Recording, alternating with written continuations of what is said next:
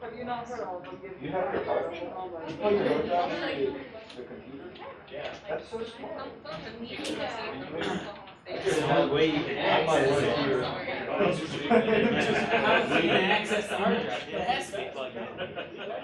Fair enough. Sorry, that was, that was dumb, dumb statement. I mean, a lot of, a lot of the things. All right, so we, uh, we left off on For some this. reason, I was like, where's the laptop in this scenario? Right, two, two-way ANOVA, we talked about the effect of light. Right, we took, uh, each of the nutrient conditions, made subsets, ran the ANOVA. All right, we don't have to check the assumptions because we always, we already did it as like the omnibus check of all of our data. All right, if, if all of our assumptions are met, then all of the assumptions remain met as we ta- start taking subsets to do post hoc tests. So these two are similar, these two are similar, and then as we progress to medium high, each of our lines, each of our data points are different from each other. Then we ask you to do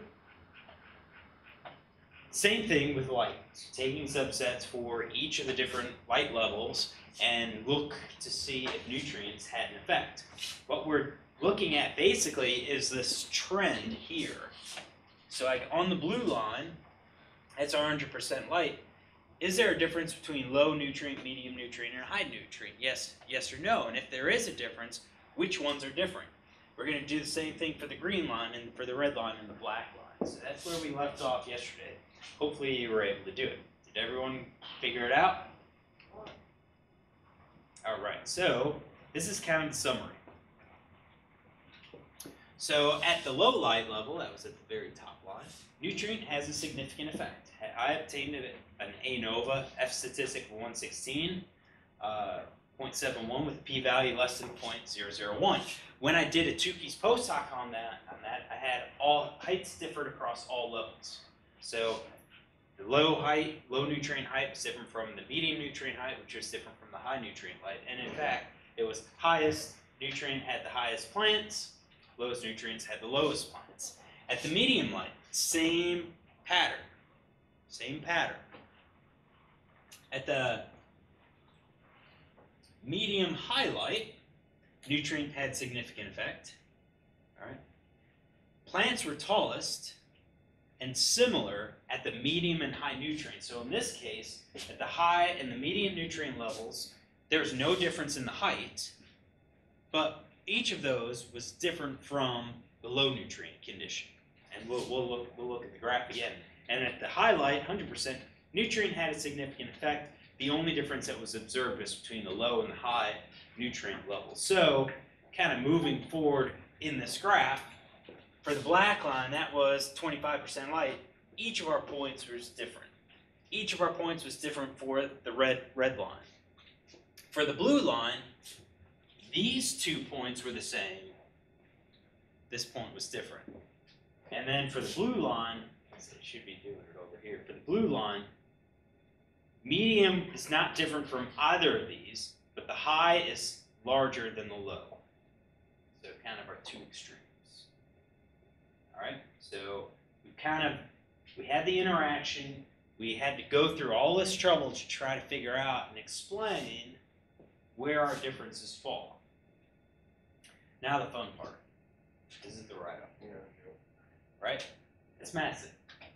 All right, so can I walk through and say the effects of light nutrient on plant height was investigated. Assumptions of ANOVA were assessed using quantile quantile plots and the Brown Forsythe test.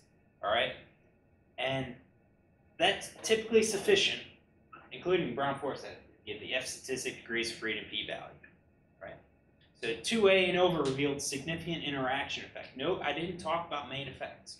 We've got an interaction effect. So now we're going to have to start taking subsets. All right, so same thing. F statistic, degrees of freedom, p-value. And I interpret it. So suggests that the effect of light depends on the nutrient level in which the plant is grown and vice versa. To further investigate the in- interaction effect, subsets of data were analyzed to control for each of the variables. All right, remember, when we take a subset, we're controlling for that variable at, hand. All right, so when grown with medium or high nutrient conditions, decreasing light produced significantly taller plants. So medium or high nutrients, All right, we have progressively different plants. We had differences for each of these. When grown in the low nutrient conditions, light still affected plant height, but plants grown with 75 and 100% light, light levels are similarly sized and shorter than plants grown in 25% and 50% light. No difference in height was, was observed in plants grown with 25 and 50% light.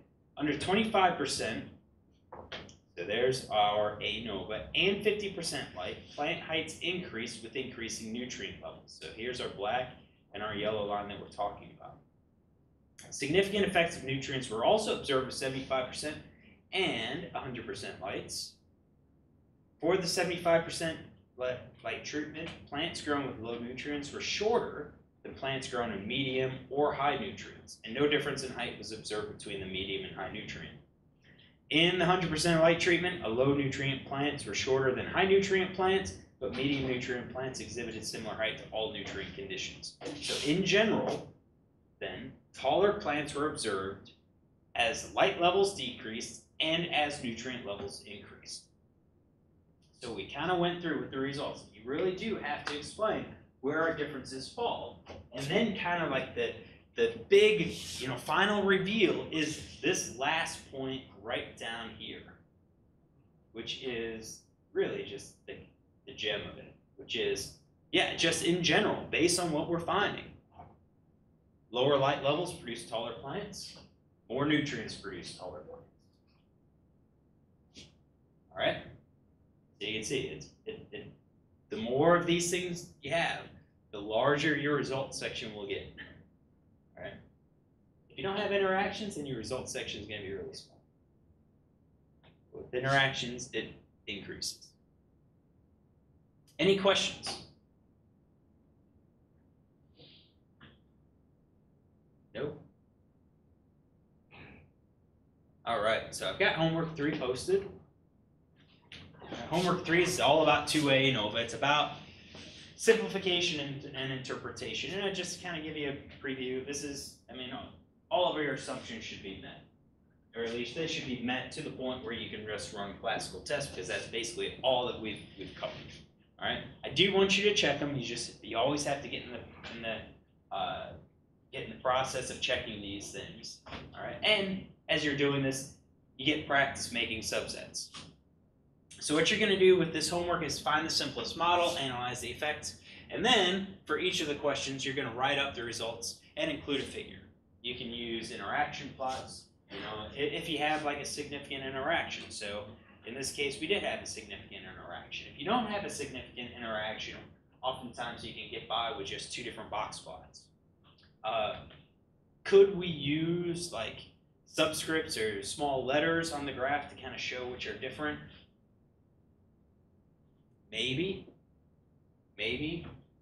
All right. The graph would start to become very confusing if you start having like letters and different numbers to indicate significant differences. I think this is sufficient to really kind of give the results, and then in the text, you have to you would have to explain it. But uh, this will take some time. So I put I set a due date for Monday. Gives you time to practice the rest of the week and on the weekend. And then I put the time as like seven o'clock. So if you run into problems or you have questions on Monday, we could ask them at the beginning of class. All right, and then we can fix it, and you still have time to kind of fix it and get it uploaded. Any questions? Yes. No.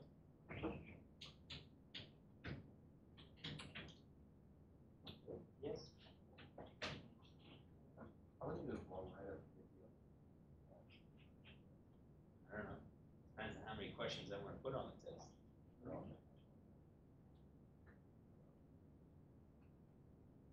All right.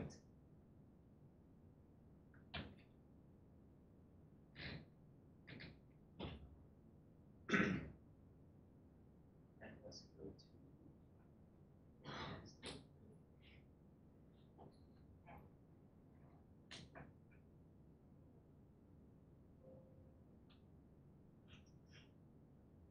All right.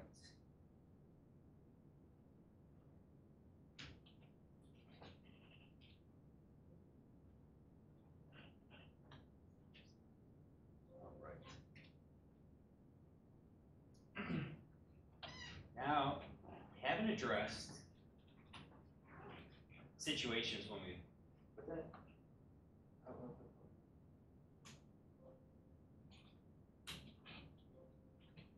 Three-way.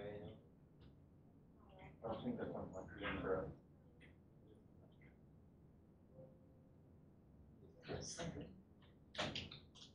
Get it up.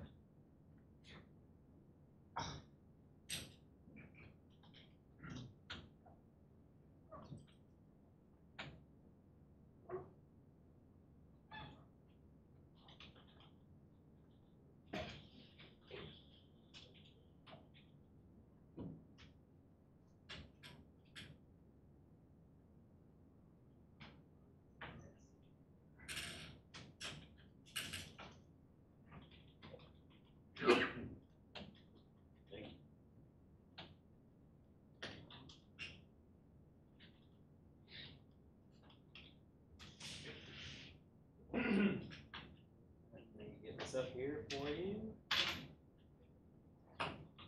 Oh, I already had it, I already had it. I'm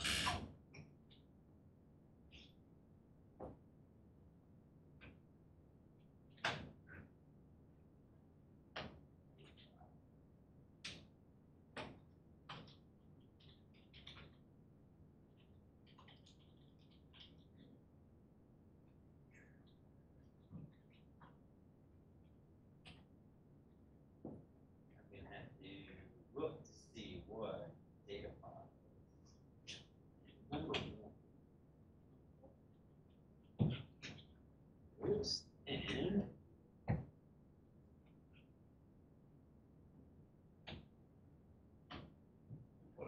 Radishes, I think. Radishes. All oh, right. And we're also gonna use one that is built in.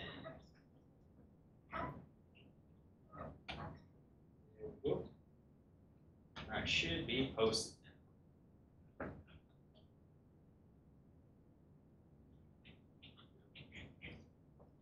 Alright, so we didn't talk about what happens when we violate assumptions. I kind of think it's going to be easier to address that as we start getting building bigger and bigger models. Because the process remains the same. And actually, it becomes a little bit easier uh, as we start to get bigger and bigger models. So with our more complex ANOVAs, what we're talking about is that we have three or more factor level independent variables. And with those variables, with that slew of variables, we're interested in if any of them or all of them influence or affect our measurement variables. So we still have these categorical variables that they're the classifications, and then you have something that you measure. All right. Our approach is going to be the same, but it's just a little bit more complicated because we've got a lot more variables. Our assumptions remain the same. Data are random and independent, normality within each combination, equal variance across the combination of rows. All right, checking the assumptions, somewhat easy uh, for the Brown-Forsythe test because it handles all of those uh, combinations. A little bit harder for the normality because we have to figure out all possible combinations. All right, model simplification, also gonna be pretty, pretty much the same. We can use classical tests, all right, look at the ANOVA tables, uh, or we can use AIC or randomization tests.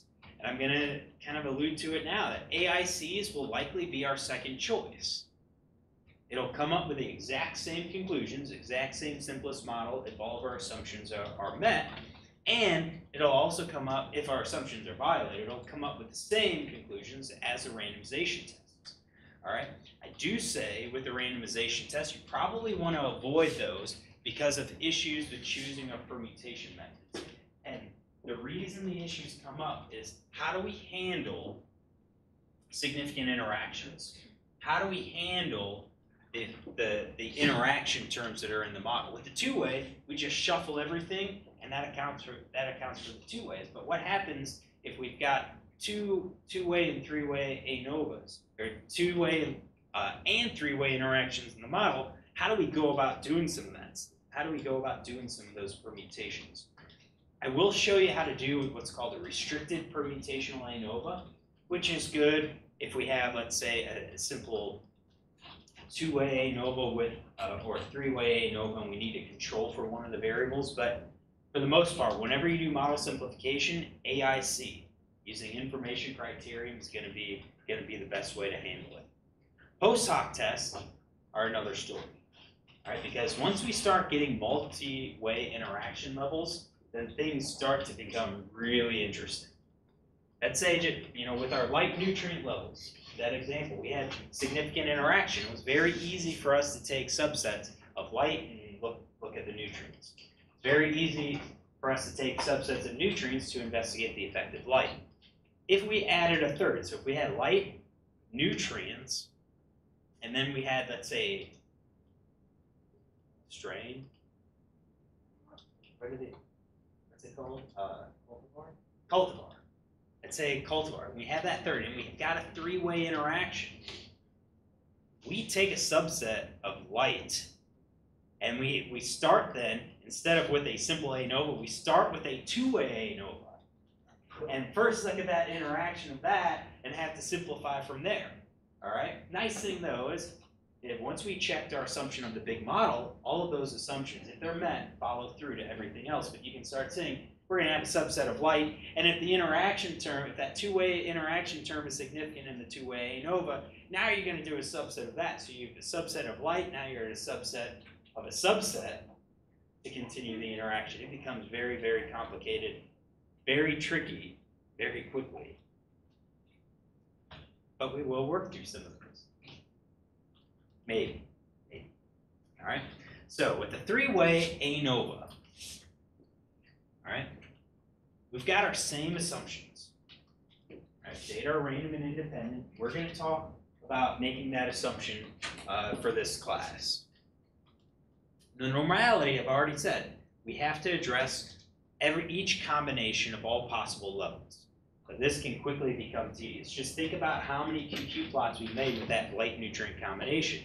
Now if we add cultivar, it's that number for every cultivar type that we had. So if we had five cultivars, we had, I don't remember how many QQ plots. I didn't open them all. Was it twelve? Yeah, so if you had five cultivars, it's twelve for each of those. Now you're looking at sixty QQ plots. Tedious, right? Actually, it might be a good exam question. Time consuming, right? Homoscedasticity, easy to do. Levene test handles it properly. Fligner, Fligner test, we have to do our trick and make that new variable using the paste, paste function to create, to create that new, uh, that new one. So you can see it's going to be a little bit tricky, but there is an alternative for it. All right, there's there's two different things that we could do. One is a graphical check, and the graphical check utilizes the residuals of our model. What are the residuals?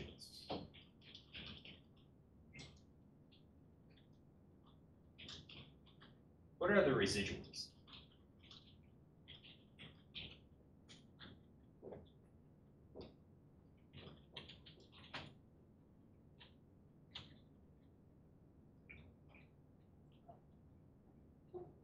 Your best guess.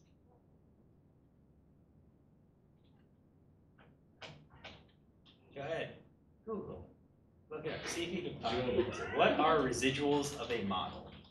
Deviation from the sample mean? What's that? Deviation from the sample mean? Okay. Uh, my answer is Google. What does that mean?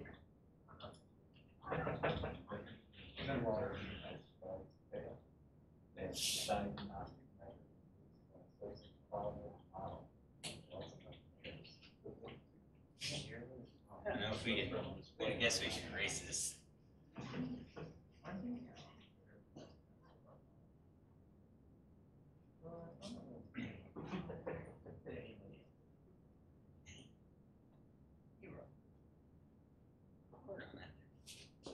Let's grab a new piece of chalk. Measure how much regression line is. How much our regression line misses our data point?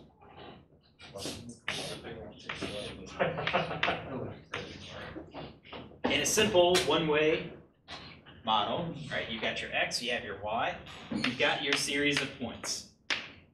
And then your regression fits a line to minimize the residuals. The residuals is the distance of each of these points to our line. So least squares method is trying to minimize the square of our deviance. That's our least squares method. We're trying to make it as, as good as we can. So our line's going to be shifting up and down. It's going to be rotating until we find to that. The residual is this, is this value. Alright, is that distance. We're going to look at those residuals for our model. Alright? We're going to look at the residuals of those models, and it's going to generate a series of four plots. And we can utilize those plots to see how well our assumptions are met. Now, it's pretty easy to do, and it's pretty reliable. Alright? Let me uh, fix this real quick.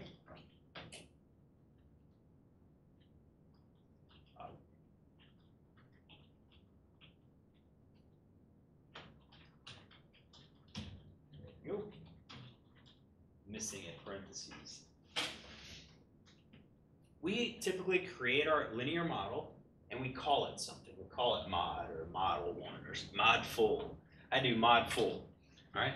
Then it's sim- simply saying plot of our model. And R is going to give us a series of four plots. Alright? Now, with our plots, with our assumption, or with our residuals, if all of our assumptions are met, our residuals should be random. They should be normally distributed. And we can assess that using these plots. So it's easy to do, it's also reliable. The problem is that there's no p-values. So somebody might complain, hey, you don't have p-values to show me that it's that it, the assumptions are met. Also, it's somewhat arbitrary. It, it's somewhat arbitrary because you're looking at a plot and you're saying, yeah, that looks like it's pretty good. I'm going to say that's okay. I think most people say it's okay because ANOVA, this method, is pretty robust to our violations, with the exception of our unequal variances. The alternate method is to run a statistical test that kind of looks at the composite of all of these assumptions.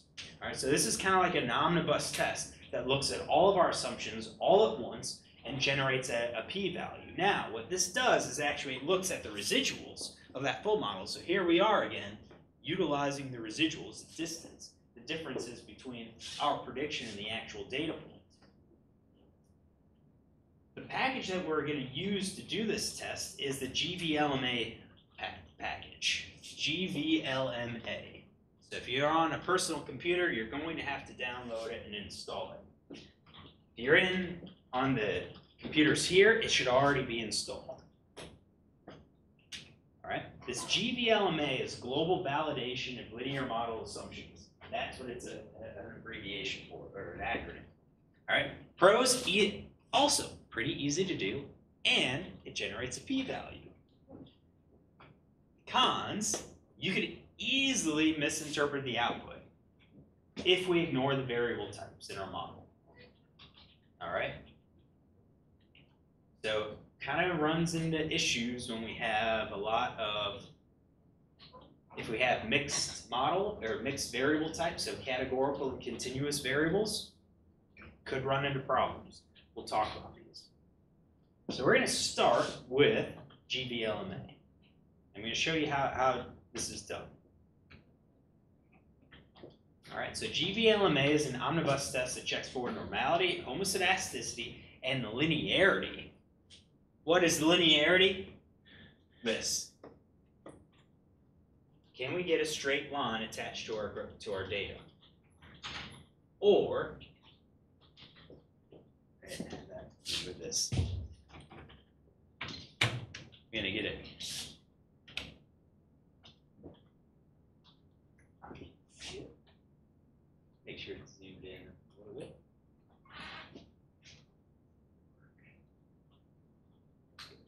All right, linearity is checking this. Uh, do we have a straight line or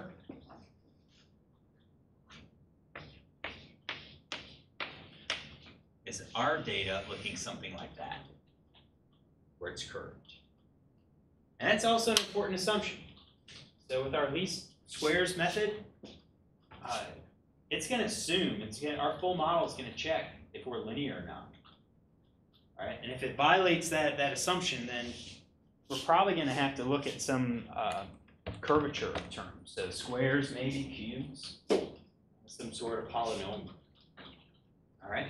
So our package, the actual function is GVLMA, and it's in our package. All right, and we can access it by giving it a formula along with our data, or we can create our linear model first and then pass that to the global to the GVLMA function. I think this method, creating the full model and then passing it to GVLMA, is is preferred. That's this is typically what I do. All right. When you do this, you hit enter and you run it, it's going to give you some output. And we're going to see this.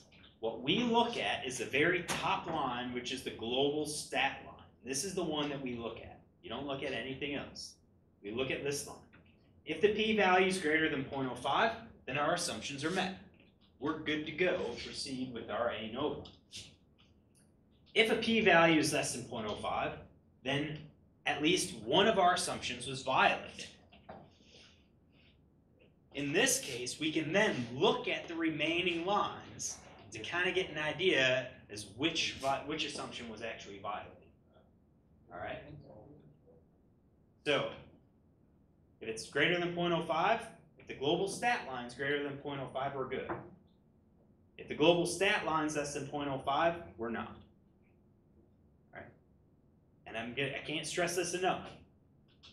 You look at the global stat line because there will be times where this value is greater than 0.05, but then in lines underneath it, you'll get significant p-values, and you'll be tempted. Well, it violated homoscedasticity. No, it didn't. If this is greater than 0.05, you did not violate homoscedasticity. This is our omnibus test. You can think of it as this. This is the omnibus test. This is the ANOVA. All of the lines underneath it are like the Tukey's post hoc. All right? So, if you run this, I don't think this will happen here in class, but it's possible if you run this on your own data. You might receive an error that says system is computationally singular. All right. To check summary mod for NA, that's error. Uh, basically, what you're going to do is look at the summary of the model, and what you should see is that one of the coefficients is, is NA. And what this is telling us is that we don't have all of the possible combination of data types.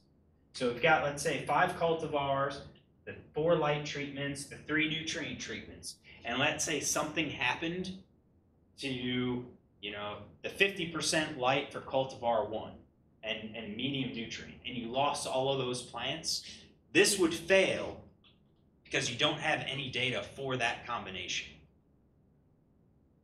So there's kind of have to work around with that. I give it put it up here because you might encounter it. Not in this class, but maybe in the future.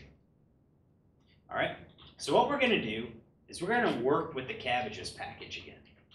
All right. We- We've already worked with cabbages or the cabbages data set. All right. This was in the MASS package. This is the vitamin C levels in the head of cabbage and stuff. We've already checked it. We've already checked our assumptions. All right, but we're going to use that package for us just to confirm using this GVLMA so we can see the examples. So go ahead and load the cabbages package. Again, a couple different ways to do that. You can load, you can actually load the MASS package and then cabbages will be accessible. Or if you didn't want to load the MASS package, you can do something like this, right at the top where you data, cabbages, package equals MASS. And that tells R, okay, access the cabbages package, get that in memory, and you can find that in the MASS package, the data set. Get the cabbages data set in mem- memory package is MASS. All right, so once you do this, we know what we're interested in. We want to know if cultivar and planting date has an effect on vitamin C levels. Right, we know we want to run an ANOVA. So what we do is create our linear model first, create our full model. Vitamin C is a function of cultivar plus or times date. I call that mod one. And then to run our GVLMA, our global validation of linear model assumptions, we just do GVLMA mod one. When you run it, you should get this output. Go ahead, run it, make sure you get this output.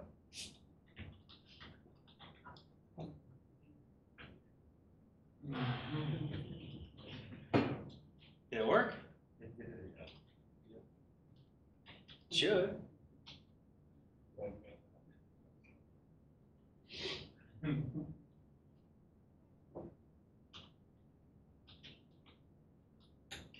Oh, wait, what was that? It was plant growth, right?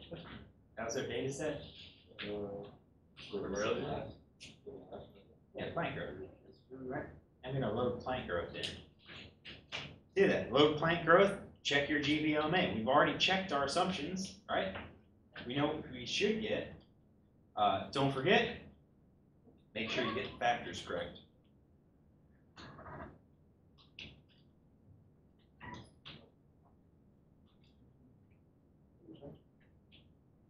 Alright, there it is. Alright.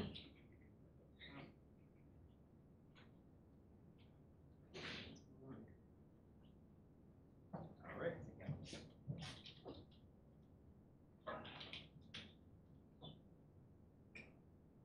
Library GVLMA.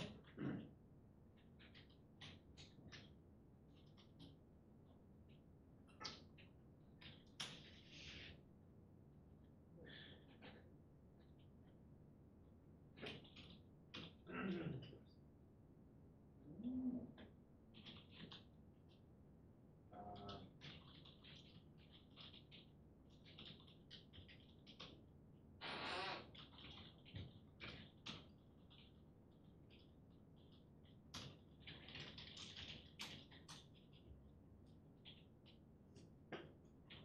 Alright, so here on our Cabbages data set, alright, it gives this output. It tells us what the model was.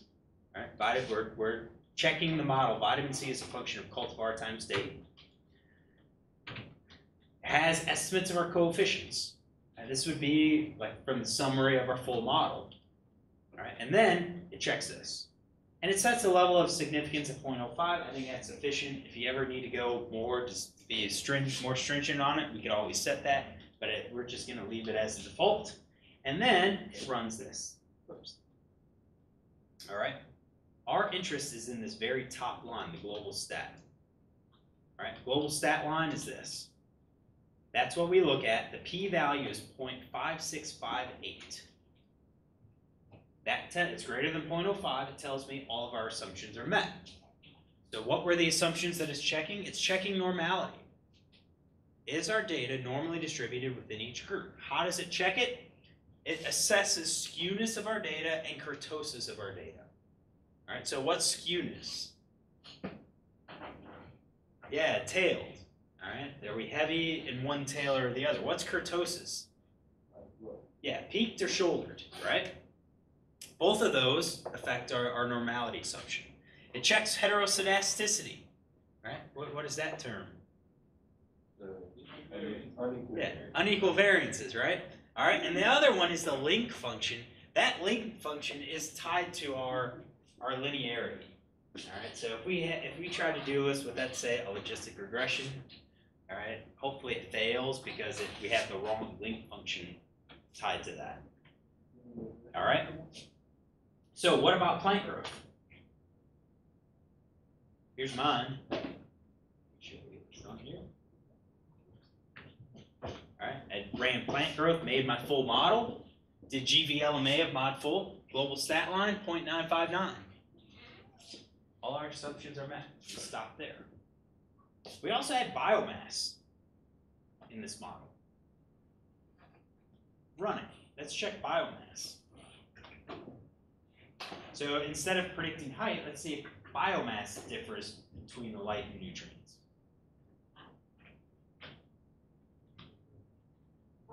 Move this off.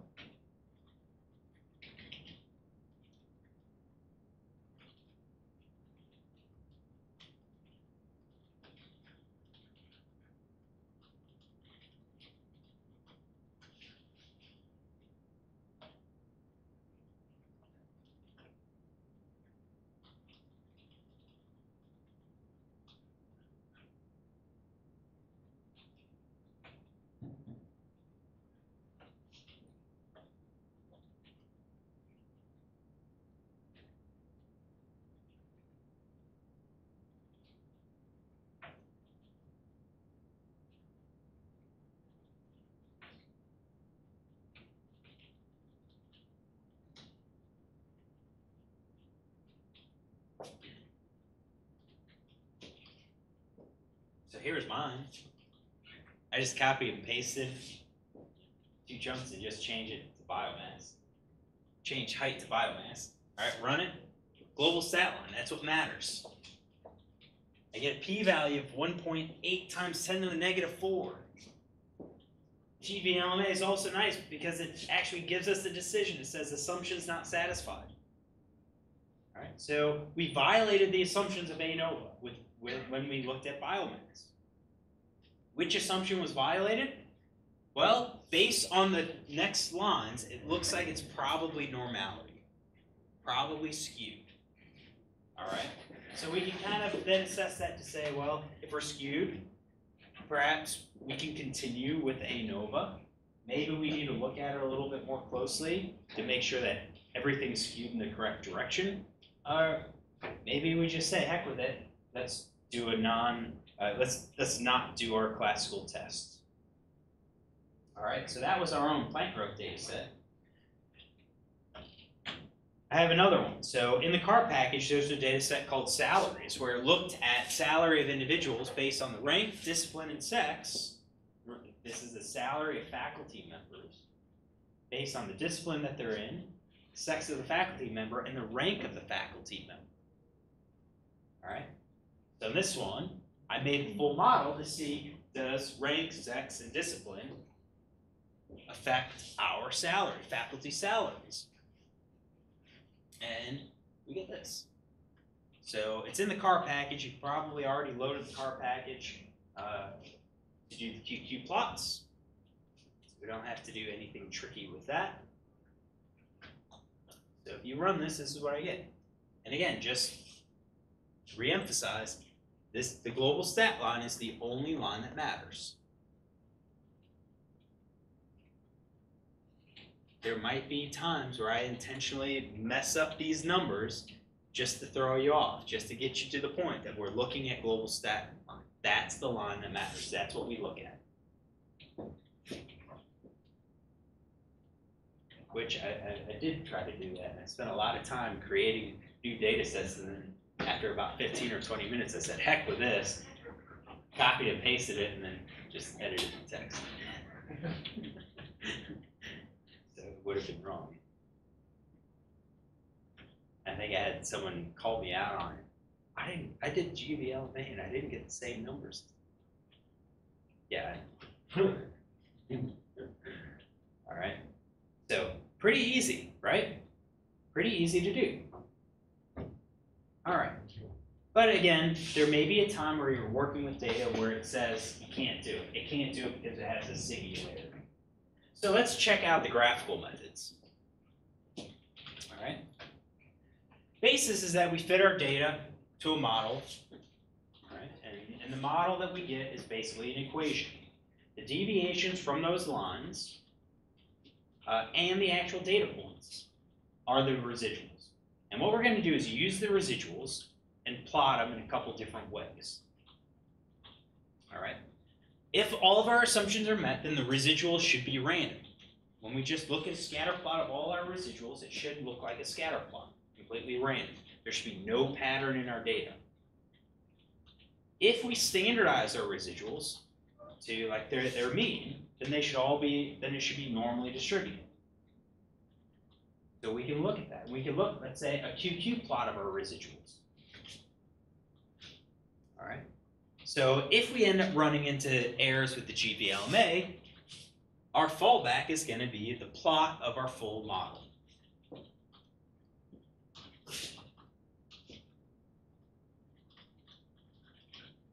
So we already made the full model for the cabbages data set, right?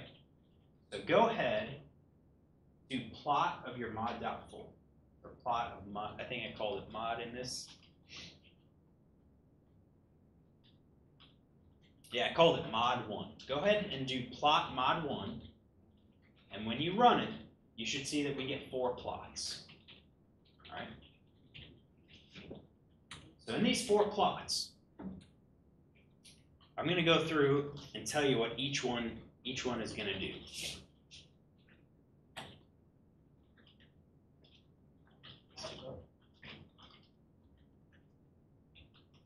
And this was written as, as if we weren't using R Markdown. So R Markdown would give you the four plots that you just kind of click on. So the first plot is a plot of the residuals versus the fitted value. All right, so the, the fitted value is the x and then the residuals. That pattern that we see should be completely random. Should look like a, a scatter. Should look like a shotgun blast. All right. Violations of this will reveal.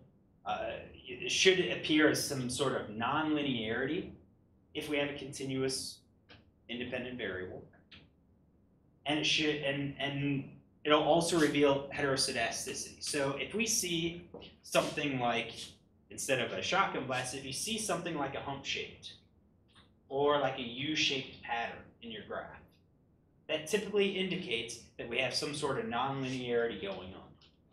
If we look at it and we get somewhat of a trumpet blast where the points on one side of the graph are really close to, to uh, are really close together and then the points at the opposite extreme are really far apart, it typically indicates heteroscedasticity. Plot number two is a normal quantile quantile plot. And we've been working with these. And again, if we're normally distributed, all of our points should fall on a straight line. So our interpretation of that is, is standard. Plot three is a scale versus location. This plot is going to look at heteroscedasticity. What it does is it plots uh, best fit line and the square root of the standardized residuals. All right. That line, that resulting point, that line should be horizontal. All right. If we have unequal variances, then what we see is that our variances increase. If we ranked our variances in order, right, from smallest to largest, they should be pretty much the same. But if we have unequal variances, then it should be a small variance and then it progressively gets larger. And that means our best fit line will then be a sloped, sloped line. And we'll look at some. And then our final plot, plot four, is a residuals versus leverage plot. All right. Leverage is is this idea that our data points are influencing our overall equation. All right, a data point with high amount of leverage will have one value, will will produce, let's say, one set of equations and coefficients when it's included in the model, and then when we remove the model, all of a sudden things change. So let's say we did our plant growth data set, and we've got our light and nutrients. If we have a data point with a large amount of leverage, maybe that point gives us significant interaction effect. But if we remove the point from the data, data set, then the interaction is not significant. All right. Our data, our analysis shouldn't be dependent on a single data point making it significant. That's this concept of leverage. So we can look at our residuals as this idea of leverage. And all of our residuals should have about a similar amount of leverage. So if we remove one, it's not going to change any of our interpretation. For us, we're going to look at, at points, only those points that have a label attached to them. If they have a label attached to them, those are the points that we probably need to look at a little bit more. These points tend to be outliers, tend to be outliers, and they're going to influence our model fit, and thus the predictive equations. Did Blake? Did you have an outlier in your data set at one point, right? Yeah, you had one. And what was it? It was a one fish that was like overly big or something like that, right? Two hundred times bigger than should be. Is that a typo? Yeah. Yeah, it was a typo. Yeah, it's it's in real life situations possible that you could get get one of these things. Uh, I mean, uh, Matt could be weighing his skunks, and he could have weighed a skunk after he feasted in the bin of McDonald's. All right, all right, causing undue leverage in, in the model. I mean, it could happen, but typically, if you see this, go back and look at your data. Look at your your hard copy versus the data sheet oftentimes it's a typo or some mistake in, in writing down the data. All right, so here's a plot one, residuals versus fit. This is what we're looking at. If we've got scattered here, we're good. There's really no obvious pattern. If we have a, what's called like a trumpet shaped pattern, that indicates heteroscedasticity. If we have like a curved pattern like this, hump shaped, we're nonlinear. We're nonlinear. Now, with categorical variables, things are going to look a little bit different. This is for continuous uh, predictor variables. Plot twos are standard QQ plots. All right, no change. If we really wanted to add these confidence intervals, we can. We can extract the residuals from our model to do a QQ plot, and I can show you how to, how to do that. Scale location looks like this. Now, this looks good. All right, this looks good. This does not. And what I want you to pay attention to is the scale of that y-axis. Y-axis. I know I said the line should be horizontal, and you can say, hey, Dr. N, this doesn't look horizontal to me. Well, look at our range. It goes from about 0.55, maybe 0.56, maybe to 1, not even to 1. All right, that's not really a huge change. Whereas this one goes from 0.2, 0.2, yeah, about 0.2 to over 1. We have drastic change. So my general rule of thumb is, is if we stay within this point, uh, 0.5, we're probably good. If it's more than 0.5, we might not be. But again, this looks at heteroscedasticity. So it's not just this graph. We're also should see it in this graph, in numbers 1 and 3, in graphs 1 and 3. Unequal variance would manifest itself. And then our leverage plots are these last ones. All right. You can see some points are labeled. These are labeled. All right. This is, I'm not worried about it. Because on this plot, they also plot something called Cook's distance, which is a measure of, of an outlier, a measure of leverage. All right. We want our points to be, the assumption is more than one Cook distance unit away. And this one is way out there. So when you look at a plot with a data set, you might not see this dashed line. If you don't see the dashed line, your data are good. They all have about the same leverage or si sim similar amount of leverage. If you see the dashed lines on your plot and you've got points outside of those, those are the ones that you need to pay attention to. All right, so go ahead, review the residual plots for our cabbages model and for our salaries model. We've already created the models. Go ahead, generate those plots. We know one of them, the assumptions are met. We know one of them, the assumptions are not met. And while you're at it, you can also look at the plots of our plant growth models, both the height and the biomass, because again, we know one of them, the assumptions were met. We know the other one, the assumptions were not met.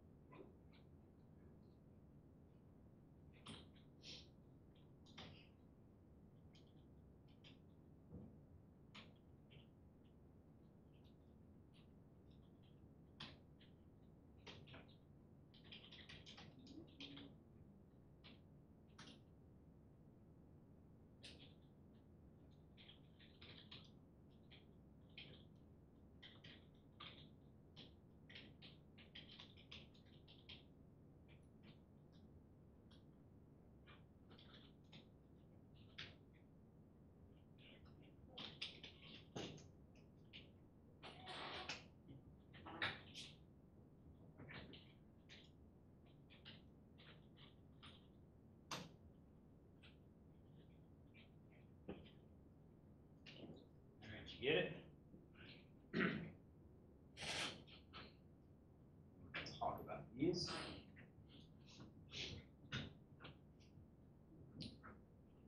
This is cabbages. Notice the difference. All right, with continuous variable, continuous x variable, yours is going to be scattered all over. But with categorical variables, we're going to have clearly defined groups. That's not a pattern, that's just a consequence of our data set.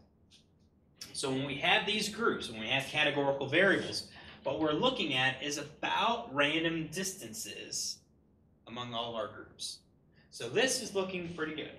Pretty random, all of our points are pretty random. We don't have a bunch of points, you know, high points up here, a bunch of low points down here, and a bunch of high points up here. We don't have that. We don't have points really close to our zero point here, and then all of a sudden it gets super large as we go down the line.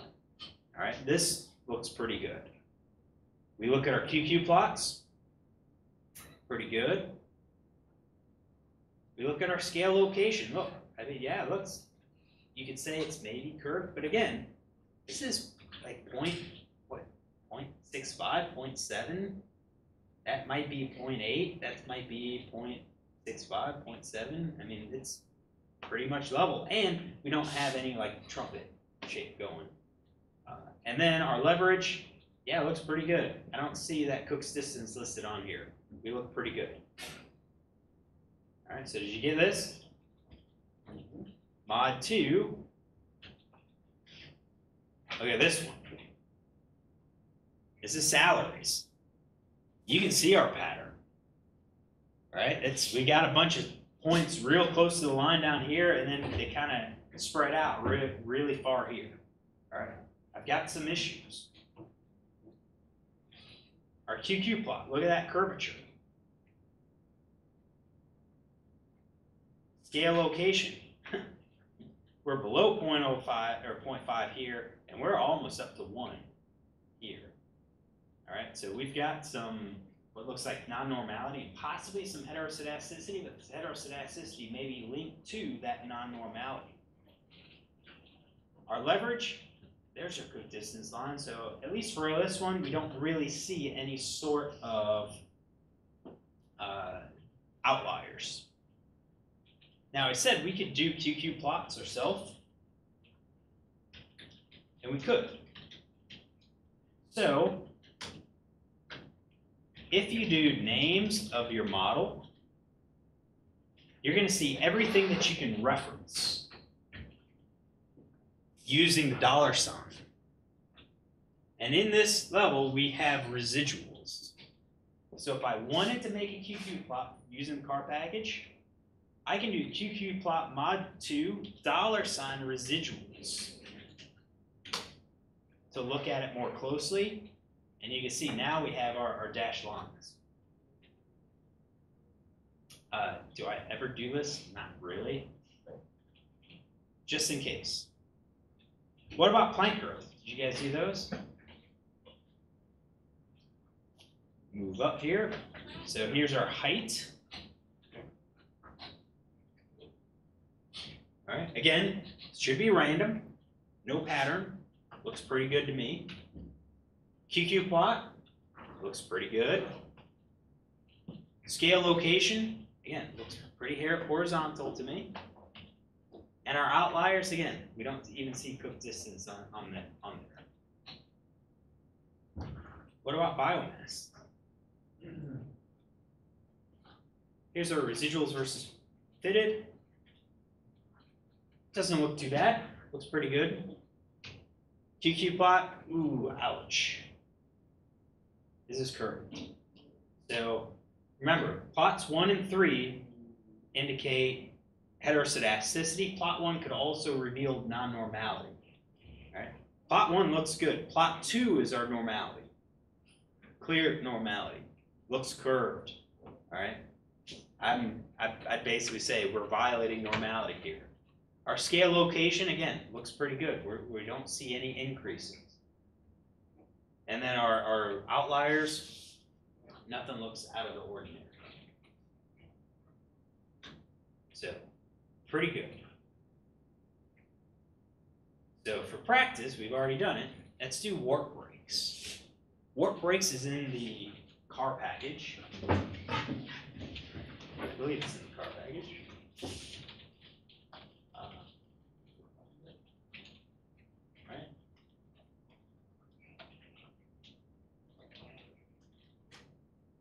Yeah. Uh, Yeah, I believe it was in the car package. So, uh, what we're interested in is, is, with this data set, is they looked at looms, or breakage on looms. And they had different wool types, and then you also had different tensions that were applied to the loom. What we want to know does, does wool type and tension affect the number of breaks that we see on a loom? All right, that's the data set uh, the warp breaks data set. So that's our question. Use GVLMA to test the assumptions of ANOVA, and then utilize the plots, the graphical methods, to confirm what GVLMA tells you.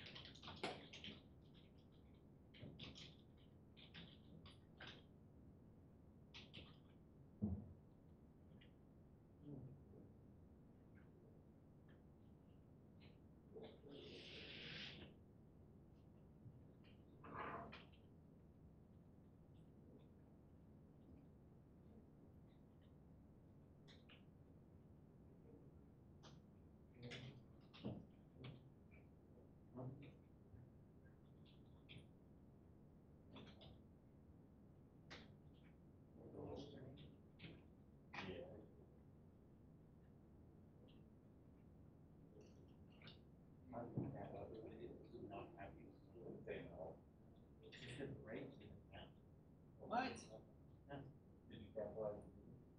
No, it's not. Lowercase. On yours, no. Yours, this, no. Did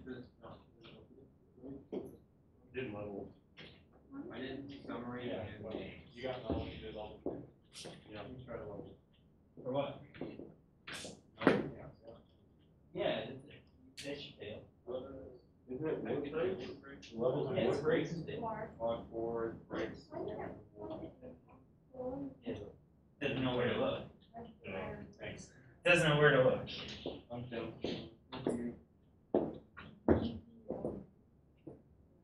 Wow, so many here. What do you do? I put that data. Well,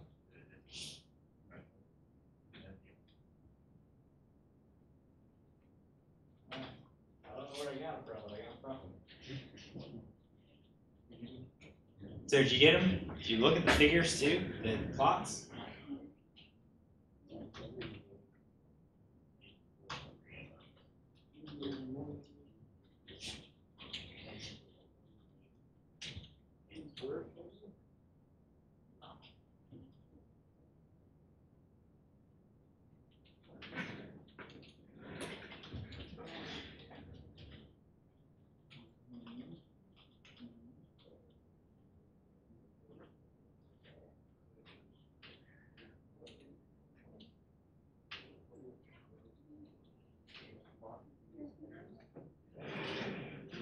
Plus twenty-three check, What's that?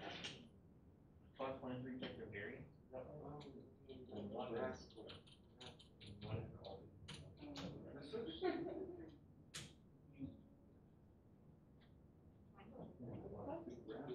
Thirty plus two and four, give a round. Does it matter if you say wool times tension or tension times wool? Nope. Okay. Not with how we do this. Yeah. But yeah, no, GBL and A Not for checking ours.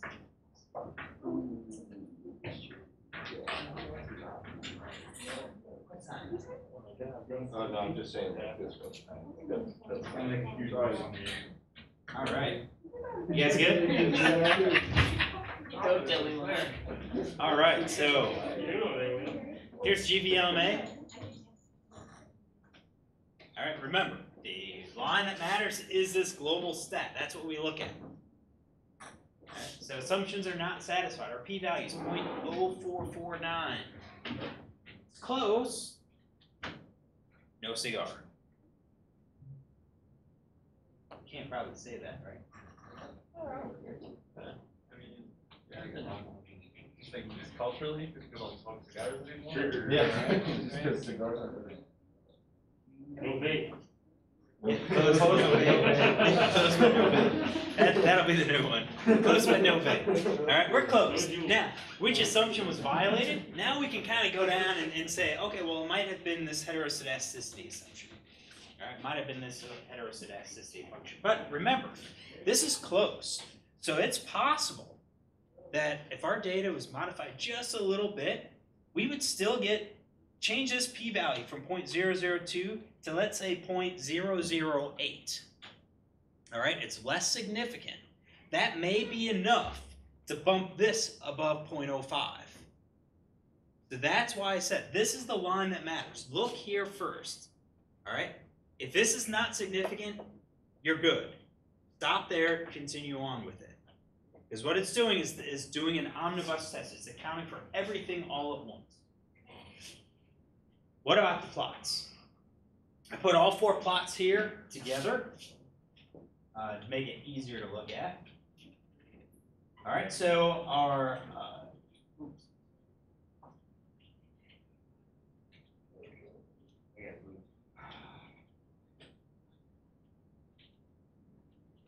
that a little bit. So residuals versus fitted. Oh, ooh, that that looks a little strange. All right, and I'm saying that we're really, you know, we're lower here. This one's really far. It does kind of look like we've got the trumpet shape. QQ plots look good, but then also scale location, definitely, we're over that 0.5 threshold.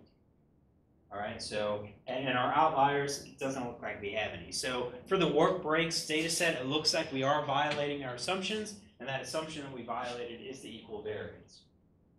All right, both GVLMA and our residual, our residual plots suggest that. So, our assumption check, just a review. GVLMA is omnibus check, checks for normality, homoscedasticity, linearity of our, of our, of our model. All right? Again, when we run this, we look at that global stat line. That's what we look at. What's that? And that global stat line, the reason, one of the, these things we do that is we control for a type 1 error. So if we did our tests individually, we're doing multiple tests on our data set, it's going to be more likely that we find a violation, like what we, like what I just told you, where you can, you have a significant p-value, but the, but the global stat is, is not significant. All right, so that's why we look at the global stat line. If the p is greater than 0.05, our assumptions are met. If it's less than 0.05, then we violated at least one of the assumptions. Benefit of this, easy to do. Disadvantage, may detect slight violations, may give you assumption not met, but perhaps we can ignore that assumption, especially if it's just normality. Usually ANOVA and these linear models are pretty good for this. The other thing is that it only works for a linear model.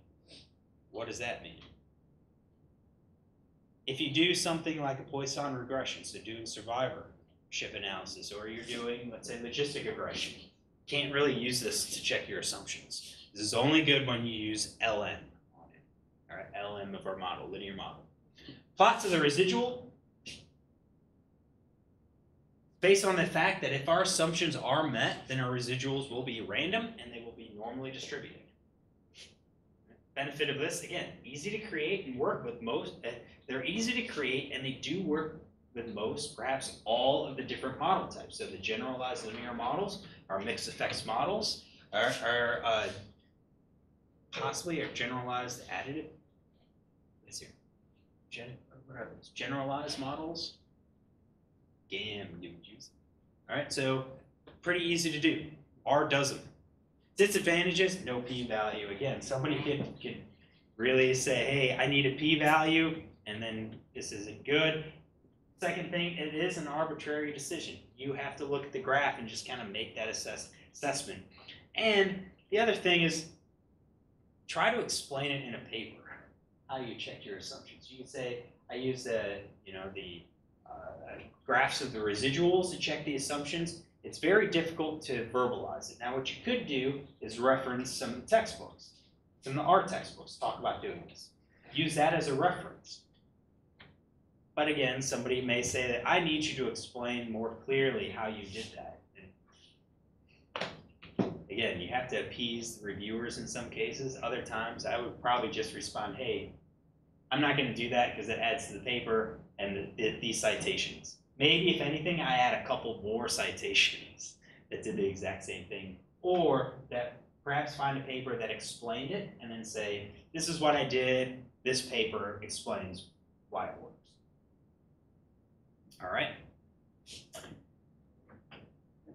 All right. What we're going to do is stop here because we're going to work with this radishes data set and we're going to kind of step through the checks of the assumptions and then we're going to uh, kind of do all of our, our analysis. All right. Yeah, it's six twelve right now. We're going to stop here. We don't have time to, to work through it. So don't forget, we've got this homework. This homework's again just kind of give you more practice doing simplification, doing those subsets, really doing the post hoc test. It will be tedious. Yes, it is. Alright. It's not like every question's going to have a significant interaction. Oh. Yep. This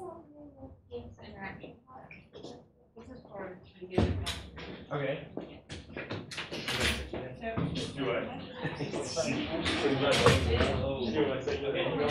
No, seasonal burger job in Austin. Twenty-five dollars, twenty-five bucks an hour.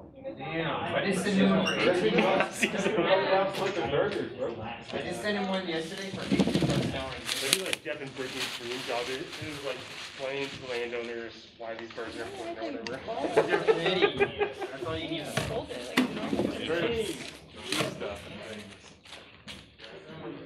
like normal. Very deep stuff. There it is. Explain why these governments grow. You're a what that came out. Oh, okay.